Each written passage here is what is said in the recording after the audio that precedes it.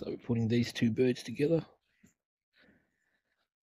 Uh, she's got some Veso line in it and also my own crazy blue red bar line.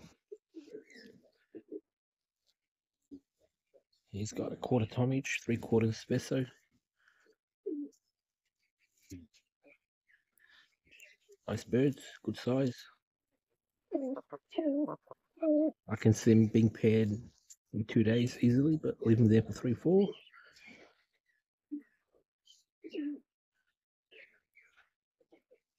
Nice pure Serbian lines.